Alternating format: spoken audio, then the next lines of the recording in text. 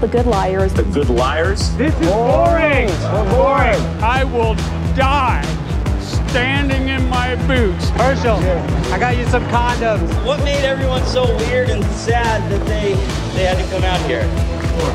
Mr. President, welcome to the show. We are the good liars, and we are going to tell the truth. Trust us. Welcome to the Good Liars Tell the Truth. I am Jason Selvig. And I'm Davram Stiefler, and we are the Good Liars. And we may be the good liars, but on this show, we are going to tell the truth. And the truth is, Davram, we have fucked up this recording so many times. So many times and so For bad. various reasons. So irrevocably.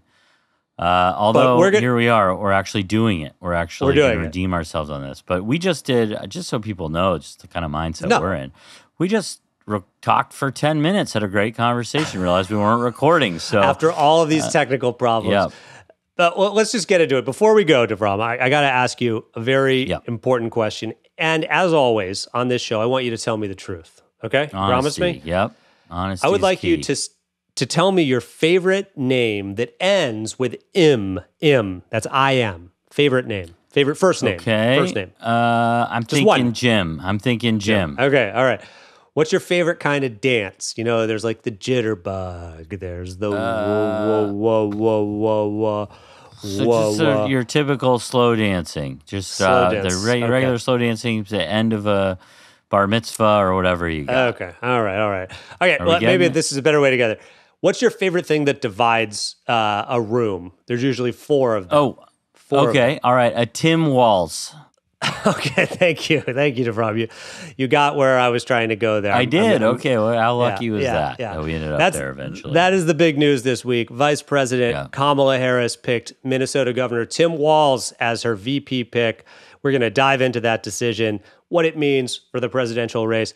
But before we get into that, we want to remind everyone you can support us on Hero Hero for exclusive bonus episodes uh, for just $5 a month. That's herohero.co slash the good liars. But before it should be we noted. It should be What? noted that if you subscribe, like you're helping send us to these places that we go. Uh, Yes, So we we appreciate that, and you can get full episodes of the podcast it's true. at It's true. herohero.co slash the good liars. But before we dive into this VP pick, Davram, I want to talk about the the bear in the room. The the dead bear cub with a bicycle in the room right now. Okay, see, I know what you're talking about. I'm not sure other people do, but Yeah. I sure do know what you're talking about this time. I just want to read a, a New York Times headline here, and this is this is obviously real. Everyone's seen this, but it's still it's not real to me. You know, like pro wrestling, it's still real to me. Damn it, this Right. still feels fake to me because it's so fucking So you crazy. just slipped that in there. You just slipped that in there. Your first pro I got more wrestling coming. Don't reference worry. of the show. Don't worry. Okay. So this is for the New York Times. Robert F. Kennedy Jr. admits he left a dead bear in Central Park. Mr. Kennedy, an independent presidential candidate, confessed to dropping off the bear cub 10 years ago and making it appear that a bike had hit the animal. So we're we're at that stage of the campaign where the the dead bear cub cub uh, stories start how leaking out. history repeats itself. Yeah. So every time at the campaign, you get a story about abducting a dead carcass from an upstate New York road. wild. Do you know the, some of the details of this? Can I t- can I tell you what I read this morning, or do you Okay, know well- all, all, how all of it unfolded? Let's yes, I do know how all of it unfolded. But could you, can we watch this video first? Yes. Uh, this is a video of RFK Jr. and Roseanne, of course, Roseanne Barr. Of course, It, she'd she'd have to be involved in this in some way. gotta be. Uh, here- Again, here's the history video here. repeats itself. So of course. Uh, I wasn't drinking, of course, but people were drinking with me who thought this was a good idea. And I said, Let, I had an old bike in my car that somebody asked me to get rid of. I said, let's go put the bear in Central Park and we'll make it look like he got hit by a bike. It'll be fun, funny for people. and it'll be funny for It'll be people. funny for people. it'll be funny for people. It'll be Oh so funny. my god! It's just like I just first, yeah. If you want to say say the details of the story that So correct any, any about. part of this you want as Sure, I go. But sure. I, I just was was reading a little bit about this this morning. He had been up in upstate New York falconing with Correct. friends, which Yeah. I think that's relatable. We all know what that means, what that looks like, and why you would do it. And it's probably a very cheap activity, something we've all done before. Um, he, driving home, he saw someone in front of him, or dri- driving back to New York City, saw someone in front of him hit and kill a bear cub. Mm, Right? Sad. Then Yeah. instead of doing what many of us would do, which I don't know, um, call 911 or some sort of animal services or Davram, you would somehow drive try and on. clear You it. would get. You would get. it. if it was off the road, I don't know, but it. No, no, but Okay. if you if you're not sure it's dead yet or something, you, Okay, you okay. might you might feel the need to do something. No, I'm not. I'm not going to say what you would do, and I wasn't I don't- implying I don't what I would be do. I don't want anyone coming do. after me. Yeah. yeah, yeah. Sorry Um, about that. So he, instead of doing what, what many people would do, which is those things I listed, he decides he's going to put the bear in his trunk.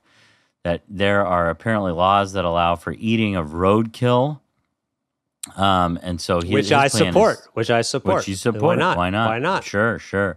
Funny that he knows these laws. Um, that, that he's ready for a situation just like this. You see a bear get hit by a van in front of you, you're going to put that bear in your trunk. he also puts the bear's mouth around his hand, pretending to be bitten, which he later says weird. that could be when he got the worm, the brain worm, which he says he has.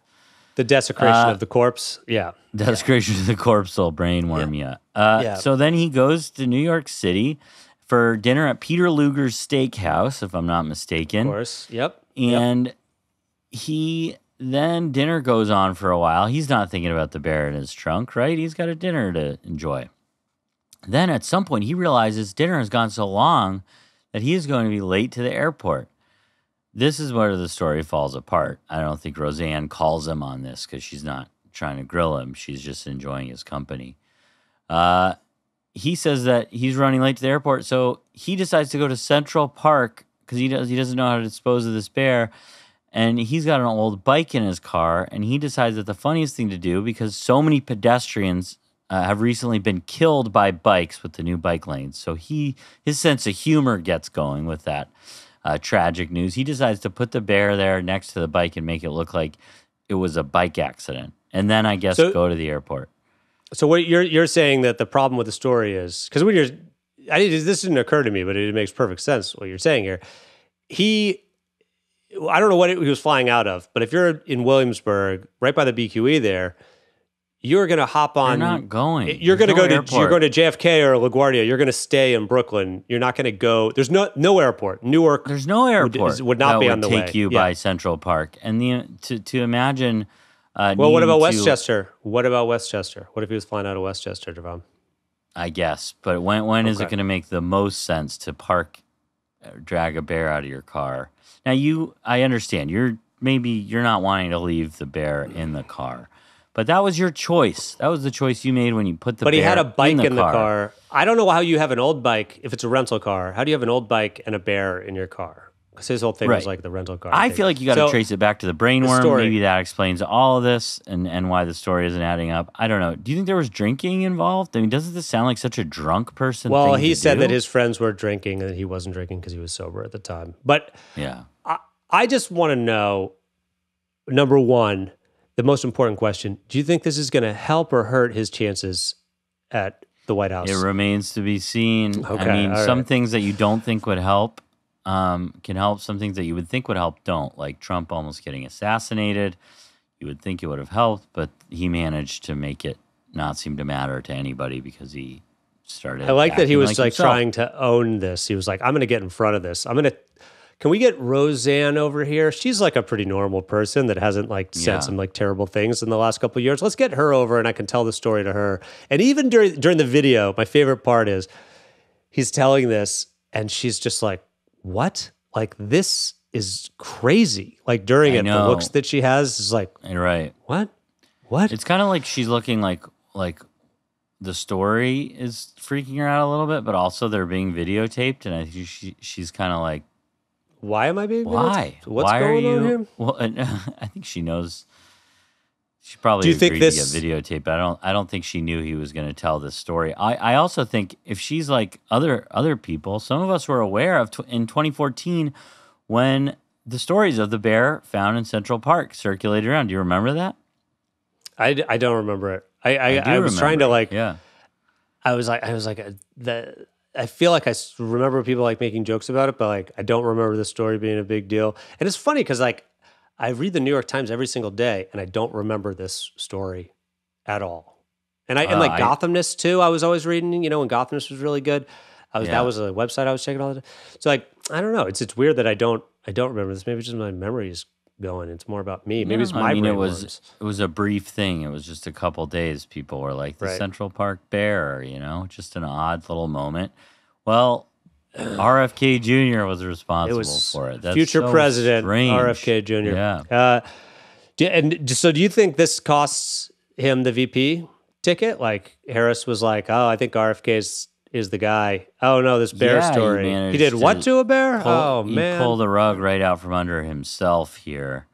Uh, yeah, he was a shoe in. I'm sure Harris was gonna pick him, and then she was like, "If this, what else?" You know. Right. Well, there's it's all out There's going to be some for the beach most part. whale yeah. story, Yeah. and he's going to be like, "We were out fishing. We I had sex with a whale. I had sex with a dead whale. Yeah. I don't know. It's not the craziest thing in the world. the yeah, thing. Roseanne, where are you going? Where are you going? Listen to the rest of the story. Come back here. Come back here. Uh, let's get Darlene in here from Roseanne and somebody else to talk to. Oh, she would be so snarky about it. She would be she would be snarky about it. She always has some great one-liners. Okay, let's Yeah. let's dive into the the the meat of this episode, Davram. It doesn't look like the VP pick is going to be RFK Jr. Unfortunately for him, uh, yeah. but it is Tim Walz and just the New York Times what they they wrote about today. Uh, Minnesota governor, former high school teacher, National Guard member, brings to the ticket Midwestern appeal in a plain spoken way of talking about Donald Trump. When you got the news this morning, what was your first thought when you heard Tim Walz?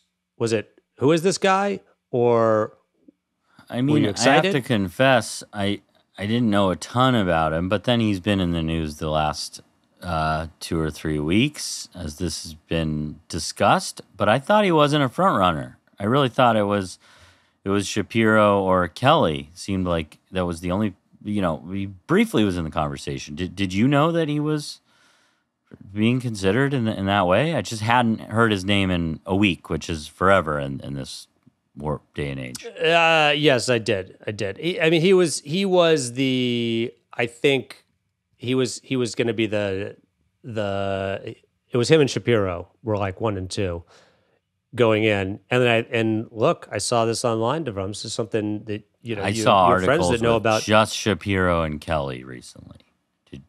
I think in the last you- day it was between the it was between Walz and Shapiro, and that was like the betting odds were were that Right. were that. Um, yeah, you know, I have learned like a little bit of a crash course on him in the last two weeks, I guess, as he was kind of introduced through this weird Yeah. primary on media in media, you know, like where people they're they're just out there talking to people, uh, sorry, talking talking on on news programs and things like that. And he grabbed headlines, and we talked about this last week by calling Republicans weird, by specifically calling Donald Trump weird. I'm going to pull up this this video of you know he he did this, and then it kind of caught on with uh, other other Democrats. We're not afraid of weird people. We, we're a little bit creeped out, but we're not afraid. It's not about her or her opponent, really. It's no matter what kind of weird stuff they keep saying. Donald Trump has been resorting to some wild lies about my record, and some of what he and his running mate are saying, uh, well, it's just plain weird. just plain weird. Weird. Just plain weird. Weird. And we talked we talked about this last week. It an effective, albeit maybe stolen, Uh, maybe stolen. Maybe insult he for Republicans. from some certain people we know. yeah, yeah, we know well. The but it worked. This has worked. The the the weird thing has caught on, and not that it necessarily like is going to work in a big, going to sway the election or anything like that. It's worked in a way that I think that ever since Joe Biden stepped aside, you're seeing Democrats who are like energized a little bit now, and they're having fun again for the first time in a long time on social media and things like that. There isn't Right. like this doom and gloom. There isn't an elephant or a dead bear in the room with uh, with with the Democrats right now. Yeah, Um, I, I I think that's really true. Uh, there's like a joy to it, and it's not focused around fighting for you know this is you have to cast your vote or democracy is out the window like this just heaviness which uh, some of those things could be true but this is actually just an, a fun way to poke at them which they haven't had in so long it's been so heavy Yeah, it's it's interesting because Donald Trump he did try to overturn an election. He Right. is denying the election results now. Everything that Joe Biden was saying about like this is a fight for the soul of the country again and all the, these things like this could be the last election. Like it is true, but it also like doesn't kind of encapsulate what Donald Trump is. And yes, he is doing all these things and he is a threat to democracy, but he let's just be honest, like everything he does is so, so bizarre. How bizarre. is. No, no, no, How- no, no, how bizarre. Yeah. How bizarre. How bizarre. Uh, it's been years of this, and I think we're like desensitized to it a little bit. And all those serious themes have been kind of drilled into our heads, like you said, for good reason. Like this stuff has happened. But I think it's like, and it's allowed me anyway to take a step back and and remember what we were first saying when he came onto the scene. Like this guy, really? The guy who says all this dumb shit and is just so odd and is his you know his his biggest resume point is his show on NBC The Apprentice like and and Big decisions there, the- though. Big decisions. yeah big decisions uh the odd oddness of it all I think had worn off in place of the seriousness of this all and where is the what's the trajectory of our country now we can remember that like this guy with his painted face and his like you know big weird hair sweep and just the shit he talks about it's just an odd it's just weird and it's it's been in our faces for years so i don't know it Yeah. actually i didn't expect it to but it's actually won me over a little bit uh, yeah, and I think we've we've experienced it. as You know, like sad about it all as as for us, we you know being at January sixth and Sorry, like experiencing it. Yeah, get it, get it, you get it. Did you get it? yeah I let, I let it outside and it's so happy it's outside, and there's no blood on my hands, literally. Um, we've we've experienced a little bit of this ourselves, where we were at January sixth. We were like seeing the stakes of things. You saw like Yeah. after what what happened after twenty in twenty the twenty twenty election was like traumatic in a way, just like because the country felt like it was falling apart, and you had Right. a major political candidate and president refusing to peacefully transfer power. Like that is a truly fucked up thing to have happen, and it made this election seem so serious, and it still is. But that is not Joe Biden was not like having fun doing any of this No, stuff. You were just and holding your fact, breath and being older- like, "Can he read this?" Yeah, the older he got, the more frail he got, and the more tense this got. It made sense for him, but it almost felt like he felt he had to remind people how serious this was, and that Donald Trump had to be beaten. And there, it was never going to be lighthearted because we were all, I think himself included, just hoping to get through the next, you know, public appearance or the next, the next Right, hurdle. right. Like there was Can- never going to be he? time to exhale. Is he going to So- talk? Can he talk right now? Is he going to do it? Is Yeah. he going to say? Is he going to call Vice President Trump? Is what, what's going to happen? That was here? so tough. That was his press was tough. conference to win everyone back. Tough. The whole thing was tough, and I like Joe Biden. I want to say that I just I like him. I really do like him. I think he's a, actually like really wants to be a good person, and that's Well, why it- the whole thing was how so many tough people? backing up. How many people have you asked for marriage advice and they've said, "Let me talk to you about that"? You know what I mean? How many people in your life? Joe Biden is one of them. You can count him. Joe Biden is one of them. I guess that's true. He's also the only person who said, "I uh, I'm beginning to see why your wife left you." Just if we're gonna be just to play both sides here, he did did say that. Yeah, I'm gonna. Your wife I'm left you. give him the Your wife left you. the doubt here. Your wife left you. Your wife left Uh, you. So the the other observation that uh, Governor Walz said about Trump was he said, "Have you ever seen Trump laugh?" And a not when he he laughs, but when he laughs, he's laughing at someone, not with someone. Uh, Right. And do you, what, how do you feel about that observation? Number one, and then I think it's I think it's um it's good. It strikes at the core of like what we think of, of you know good people and bad people and I have a feeling they, they tested that one out and it's been thought of before. It wasn't just didn't just come out. It wasn't just a natural. What? No, everything's Uh, everything's organic in politics. You're right. That being said, I think uh, I think it's the smart way to go. It kind of goes along with the weird thing. It's like, what kind of person is this? Stop talking about this like threat to democracy, which will have to be mentioned and people will talk about as it gets closer to the election. But like, what kind of person is this? Is it the kind of person you want like around? You want in your lives again for four years that you trust? So I, Yeah. I think it's a good line, I guess. Yeah, yeah, and uh, so so now that he's the the pick, Trump let out a let out. he let A slip. the biggest he part in let the world. slip a campaign email. Uh, I'm just going to read this. Uh, Tim Walz will be the worst VP Oh, in God. history. Oh my God. Does this mean anything to anybody anymore? But okay. even worse than dangerously liberal and crooked Kamala Harris. He's that bad, and he's that bad as in red. He'll unleash hell on earth, which is just like so funny.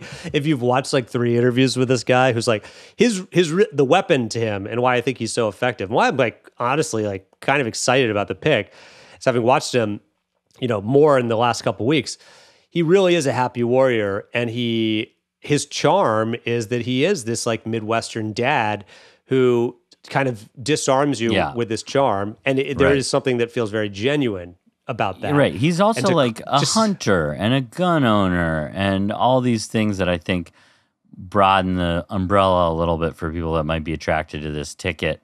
So I think it means more coming from him. Like he's not like a liberal elite. You can't I just want- treat him that way. You just made me think like I want to see Donald Trump go hunting. I want to see like a Oh video God, of him hunting. amazing. Just like uh, Oh he's got the gun. He's like, Yeah. I know how to, I've actually fired many. I love guns. They're the best thing in the world. I always said that. He's so scared of them. You know, he's just like worried about it, kicking back. Like I, I'm not judging him. I would be the same way. Right. But I don't He's talk probably like like a lot of people it. who don't like handle guns. He would be Yeah. not at home, like uh, in a little, in one of those little like little huts you make yourself while you're waiting for like a turkey to walk by or something. This is a wonderful Oh, hut. It's actually so a great hut. times. Smells a little bit, but that's okay. We love smells. And it's like he's he's he's like tries to fire and ends up like you know shooting somebody else or something. It would just be very very funny to watch him good. hunt. And I like that. I challenge Trump to come hunting with me and a real Yep. hunter, somebody who knows how to hunt. And let's, and let's also go hunting. someone else. That sounds like a threat. Now that I'm saying it out loud, it sounds like a threat that I'm like. I don't think I so. want to have Go- a gun. You go Yeah, hunting. Okay. Just go hunting. Go hunting, He talks. okay. He loves guns so much. Go hunting. That's all you're saying. I that's all I need to say there. So I want Trump to go hunting, and I want it to be documented, and I think it Mm-hmm. will be the funniest thing in the world, the funniest thing in the world. So I want to talk about some of the attacks that Trump and the Republicans are going to kind of throw uh, at Governor Walz, and I I want to show this clip of him kind of getting in front of these. Yeah. Here we go. Trump is trying to paint uh, Vice President Harris as an ultra liberal. Of all her potential running mates, you might have the most progressive record as governor. I know you were more of a moderate when you were in the House, but you've legalized recreational marijuana, you passed universal background checks on guns, you expanded LGBTQ protections, you implemented tuition free college for low income Minnesotans. There's uh, free uh, breakfast and lunch uh, for school kids. Do you think your record is an asset to the ticket, or would it risk fueling Trump's attacks as you being a big government liberal? What a monster. Kids are eating eating and having full bellies so they can go learn and women are making their own healthcare decisions and uh, we're a top 5 business state and uh, we also rank in the top 3 of happiness. Look, they're going to label whatever they're I loved that response. Yeah. just because it's like it's he's just naming first off he's like just naming five awesome things uh and it's it's just such a great response and it's like there's just something to the like poking holes in some of the Republican talking points, which I don't think Democrats. First off, there hasn't been an effective communicator leading the Democratic Party in years at this point, but having poking holes in some of these Republican policies where they're like, you don't want to have school lunches. And it's I like, know. why why is that? Why is that? You don't want the kids to to be able to have food who It's can't just- afford it? It like, gets lost in like the regular political back and forth, and then when you're like, "Oh, I'm just saying I'm giving breakfast and lunch to school children," it's like, Yeah, how is no, this no. like a political football to be kicked back and forth? It's like if you can, you should. And- And part of it is like they're like, well, you know what? Some of the people that are going to get those free lunches are don't need it. They're going to be they're they're going to be wealthy.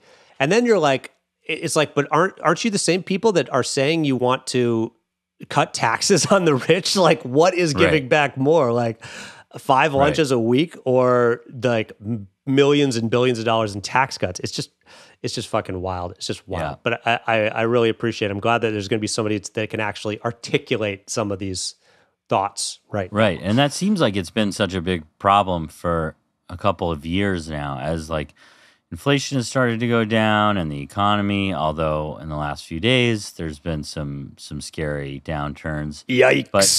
But yeah, but but in general there have been some things, many things that Biden could have communicated in a way that made people realize some of the uh, incredible things he'd gotten done with the infrastructure bill and CHIPS Act and all this stuff. Like four Republican states, Ohio is, I think, one of the biggest beneficiaries of like these chip manufacturing, uh, the the money that's bringing supply chains back to the United States. Like huge things done for Republican states that I don't think people really realize. So yeah, and to your point, a good communicator What would go a long way. Okay, what I'm hearing now is you would you wanted a couple more of the I did that. I, did, that. I, d- I, did, that. That was from me. Biden. Yeah.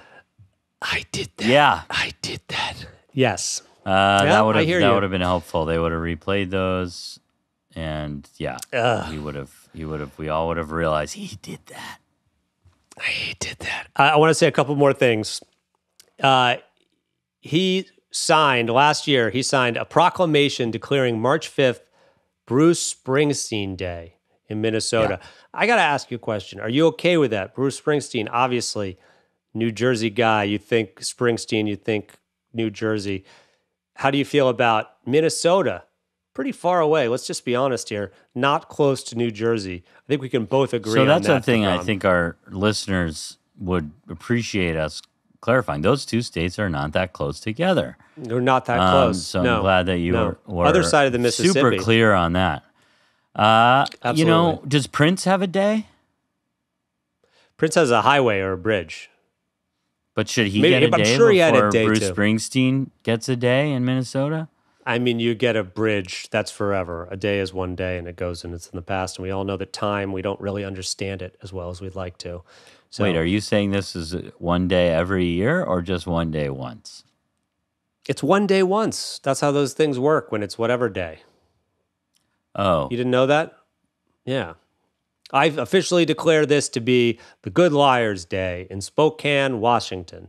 It's only that day. It's not going to be every, you know, August 8th. It's going to be well, just I'm embarrassed. Just August 8th. I'm I'm embarrassed. I thought I th- I thought he was declaring Bruce Springsteen Day every May 5th. No. No. So what Oh, was the he's not. question? So Let's get back to the question. the question was just like, do you approve of him doing the Bruce Springsteen Day? Sure. I assume he was playing a concert Yeah, there. Bruce, Bruce okay, yeah, who gives a shit? I agree. guy, who cares? Now, I don't want to do a deja vu all over again, but here we are. We have a woman at the top of the ticket Yeah. going against Donald Trump. And the vice presidential pick is named Tim. We had Tim Kaine in 2016. Now we have another Tim here in 2024. How are you feeling about the vibes on that one? Uh, oof. Wow. I, I've thought these things. I haven't really heard them said to me out loud. It's hitting me pretty hard right now. Okay, I was gonna say when I was saying when is- I was thinking when I said it out loud, it sounded stupid. But No, you're saying it's real. you- it I'm really saying, hits I'm you. saying Okay, we're okay, talking. okay. We, we mentioned history repeating itself earlier. Uh, That's right. Yeah, it's the, the Bear I Cub guess thing. a- Again, that happened in 2016 too. Yeah. Yeah, that happened That also was, in uh, 2012 and in 20, uh, 2008. Uh, That was Ted Cruz. Ted yeah, Cruz. Ted Cruz. He, he did it, but he snuggled the bear, the dead bear, for hours and hours and a right day. in his Yeah. shed in his backyard. In his shed. In his he- shed. They found he'd kept the bear there, and he was and it was rotting, and he was he was Right. eating. He was feeding it yogurt. Yeah, right. Yeah, yeah. He was yeah. feeding it warm yogurt. He was eating warm yogurt. Uh, but that's typical Ted Cruz stuff. So that almost just- doesn't. it's just that's Cruz almost cruising. separate from this. That's Yeah. Cruz cruising, cruising Yeah, for yeah. cruising. Yeah. Uh, I okay. History repeating itself. I would say that is a little bit anxiety inducing. There is this like confidence, this excitement uh, to break barriers, and a, a woman in the White House, and just would be this this sign of of progress and of just joining the modern world in some ways. Uh, it's scary uh, bringing myself back to expecting that to be the case in 2016 and then being like shocked, like most people were, that Trump won. So I don't know. I, I would say at least we have hope, which I didn't have for a while. So Yeah. I'll take the hope that I'm getting right now. And How I would, you? I would, yeah, I'm, I'm definitely happier now. Like, I would say that the the Biden Trump reminded me more of the Clinton Trump than this does now because Because everyone of his pantsuits. Yeah. because of the pantsuits, yes, that he would wear. Biden, but that they they everyone hated, did not want the election, and no one was excited. And I think now it's like there's actual excitement There was going on. enthusiasm for Hillary. There was also plenty of indifference, but there was some genuine enthusiasm. I, yes, there was. I know I know what I'm, you're I'm saying. that there were more double haters in that election, and, th- and this election mirrored that, where it was like there are people. Most people were not excited. Like a majority of Americans were not excited. Double haters. this Is that a double phrase you haters. just came up with? Absolutely not. Okay. No, that's a big. That's a big term. That's that's a uh, a PT, a political term that's being thrown around. The Being, double uh, double haters, just the people who don't who don't like either candidate, wish the election wasn't correct happening. Correct. So have they have they polled the DT the DHs to see if they've been declining in numbers? Uh, the double haters, Jason. It's like, what are you what are you talking about? What are you talking about? The the Aaron Judge is all for it. He's excited about the election now. Um, Stanton is excited. I was trying Right. to think who was a designator. Giancarlo Um, yeah. Uh, Uh, other big guy. the other big guy, Vlad Guerrero Jr. Jr.. I don't know. I don't know if he's a DH. So l- let's just get back to the topic here. He's almost got to be. I don't know. I haven't looked at the polls. I don't know. I don't know if it's the same people or if it's the if there's the same amount of double hating going on. But you could just the vibes are key, and it seems like people are are more excited now. And So speaking what of do you which, what, rate rate the vibe a month ago versus the vibe now? Just give it a number. Uh, a month ago was it felt like we were driving off a cliff, if not in the air, like the car So had already of gone off the cliff. What's that vibe?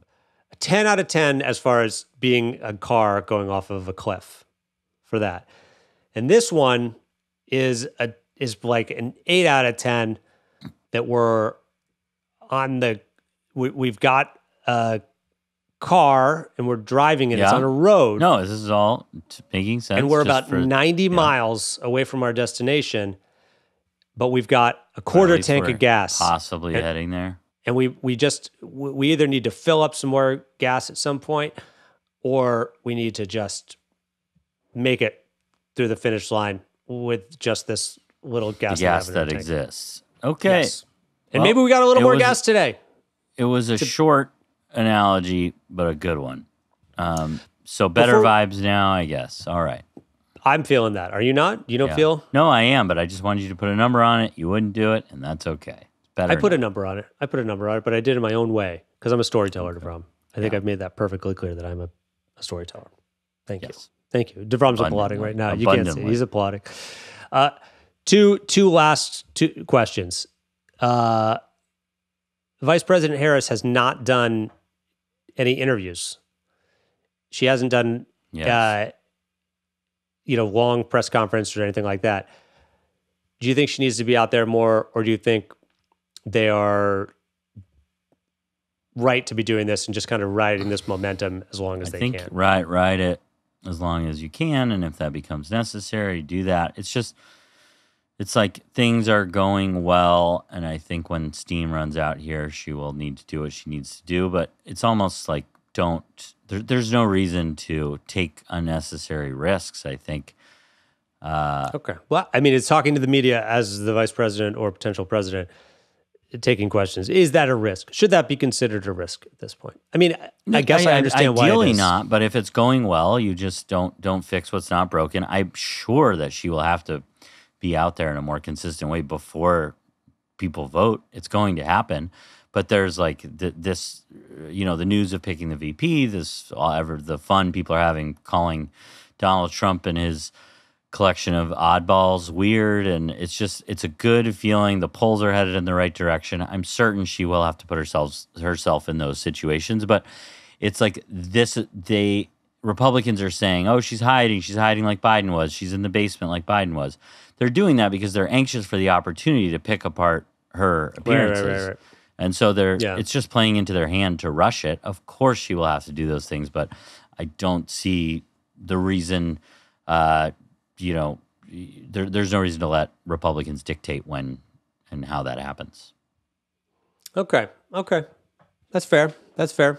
It shouldn't be And would- viewed as a, as a as a as a liability, but I, I don't think they need to rush it. What do you think? Do you disagree on that?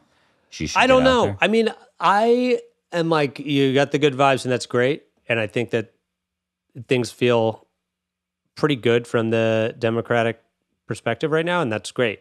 But also, I feel like you really got to go on the offensive with a message a little bit, which is we won't go back is the big one now. They're so But weird.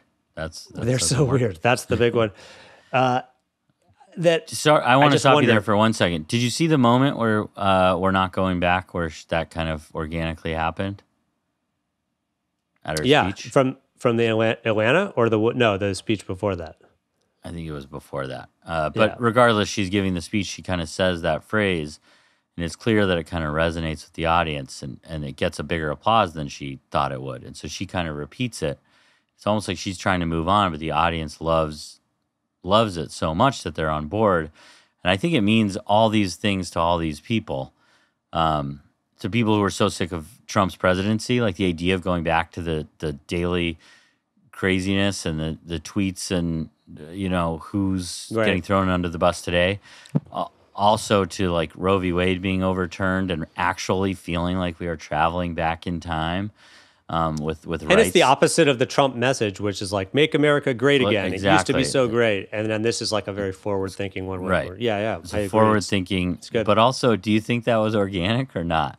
Hate to be. I don't know. I don't know. I'd hate to be. I, cynical. I kind of think she she I, I mean not to not to throw a conspiracy theory out there, but it would just Oh, be here good we go. messaging. But it, it felt almost like she said it, and like it was like they want they wanted this to be the organic moment where the the motto of the campaign came out, and I was like, I just thought myself, I, I thought to myself, they could they could have done that if if they wanted to. They could have created, fabricated that moment. It totally worked, and it's a great it's a great motto. It's a great yeah, slogan. it's like none of the Biden speeches ever. You know, there was never the battle for the soul of the country, which I actually thought was like kind of a fine thing to say for. Did you see the message, but- people people were talking? It was like it was like you know Obama was hope, and you know Biden is battle for the soul of the nation, and then Kamala is brat summer. Right, just just like the the way the world has changed, the way the world is right now. But whatever works, honestly. Hey, people are having fun, and that's all that matters. Yeah, people are having a good time. Davram, I got a question for you. Yep. How would you like a moment of truth? Oh man, I love these. All right. Do you mind if I take this one today? Calming moment. No, please, please. I'll All right, let's have a moment of truth time. there. We're talking a lot about weirdness today. And this is a very weird time for the Democratic Party right now. It's weird because there's positivity, there's good vibes. A lot of Democrats were depressed about the prospect of Joe Biden versus Donald Trump because they knew Biden couldn't communicate a message. But now it's a whole new world. Harris has selected a VP pick, and Democrats, for the most part, are still happy.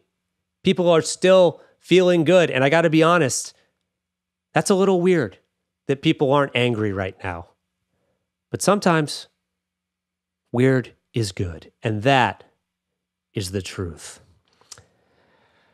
Wow. And I also want to say Mm-hmm. sometimes weird is bad. Sometimes It's weird bad. is bad. Yeah. And we're going to talk like, about some of the bad weird. weird. If you're like, this tastes weird, that's bad. Does you were saying weird? That's bad. You're right. That's bad. You were well, saying I was, we're I was gonna, to say we're going to talk about uh, on our bonus episode on Hero Hero. We're going to do a countdown of the top five weirdest Republicans on Hero Hero. That's herohero.co slash the good liars. I think you could probably guess who, in our opinion, is the weirdest, but there's going to be some su- surprises in there too. Maybe, maybe you'll be right. surprised by it. Maybe, maybe, not. But, but the, Maybe not. Thankfully, there's no shortage of material for such a countdown. There's a lot of weirdness going on. A lot of weirdness. A lot on. of So weirdness. Join us A lot of weirdness. for our bonus episode. Hey, we, we got through this recording, Davram, after all of We our did it. technical problems. Your computer, let's just be honest. Some we of got to be honest self-inflicted, but my computer is freaking out, guys. This is my second MacBook Pro to have tons of problems. I had two before that with no problems. So Apple, if you're listening, What has changed in that in that time? Like what programs have you downloaded on there that are different that potentially could be doing this? I think you're gonna you're starting starting to hint at something cryptocurrency related, but I'm Oh no, no, I would never do that. I would never do your weird fake money. I would never make fun of you for the weird fake money or the weird I don't have any of it phone. anymore, guys. I lost it all. So Hell yeah, Joke's on hell you. yeah, Yeah. uh, okay, all right. I'll give you that one, Mm-hmm. Davram. I'll give you that one. All right. So if you want to bra- buy some Davram coin, I'm selling it right now. I could. You can get Yeah. one coin for fifty thousand fart coins, Big which is another thing I'm selling. Energy coin. Yes, yes. You're not calling it anything. I'm selling it. You don't have any of this anymore. I took over. I took Yeah, over. another now my just computer's another about to crash. cryptocurrency I, I I lost. Yeah. Yes, yes. Davram, before we end this episode, I really got to ask you a question. And I, I want you to tell it to the people out there right now, if you don't mind verbalizing it in some way. Sure, I'll verbalize it. I, yeah, you mean by speaking? I guess. Yes, exactly. Yeah, yeah, yeah. Yeah. Do you have any um, words of wisdom for the audience right now? I do. I do. Okay. you got to Carry- Google it or you, okay, sorry. Carry a fork with you. If someone tries to rob you, pull it out of your pocket and say, "Thank you, Lord, for this meal I'm about to have," and charge at them with the fork. Interesting. Is that a joke from somebody? It Just was on the internet. was on the It internet. says Okay. boredpanda.com under it. I don't know what that is. No, that's just a but I guess the bullshit, so- idea, I, I think it, it strikes at the heart of, you know, when you're facing adversity, Mm-hmm. uh, approach it with humor, approach Mm. it with a, an open mind, and approach Mm-hmm. it, if you have one, with a fork. Mm, mm, well said, Davram.